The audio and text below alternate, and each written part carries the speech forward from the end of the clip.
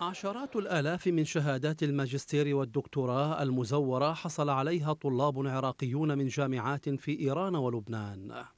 وهو ما عد انتكاسة لرصانة قطاع التعليم في البلاد.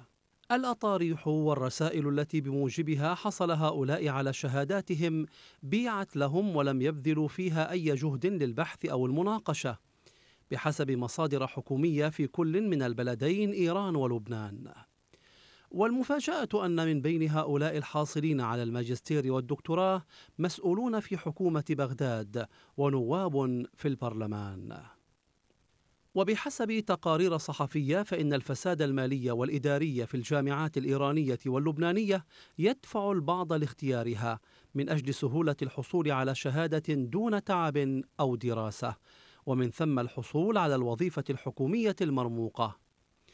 إذ يصل سعر الماجستير إلى خمسة آلاف دولار والدكتوراه إلى عشرة آلاف دولار في الجامعة الإسلامية في لبنان. التي حصل رئيس مجلس القضاء الأعلى في العراق فائق زيدان على شهادة الدكتوراه منها وفق مراقبين. وبحسب تقرير سابق لجريدة اعتماد الإيرانية نشر قبل نحو ثلاث سنوات فإن 29% من رسائل الدكتوراه في الجامعات الإيرانية مزورة وترتفع النسبة عند الحديث عن الماجستير لتصل إلى 46%. وبالنظر إلى تدهور الأوضاع في إيران خلال السنوات الأخيرة فإنه من المرجح أن هذه النسب قد تصاعدت كثيرا مما يطرح التساؤلات بشأن آلاف الطلاب العراقيين في هذه الجامعات ومدى صحة شهاداتهم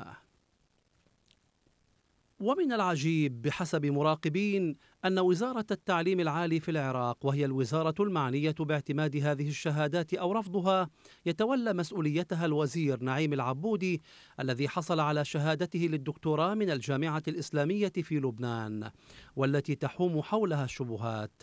كما أن العبودي ينتمي إلى ميليشيا العصائب الموالية للنظام الإيراني.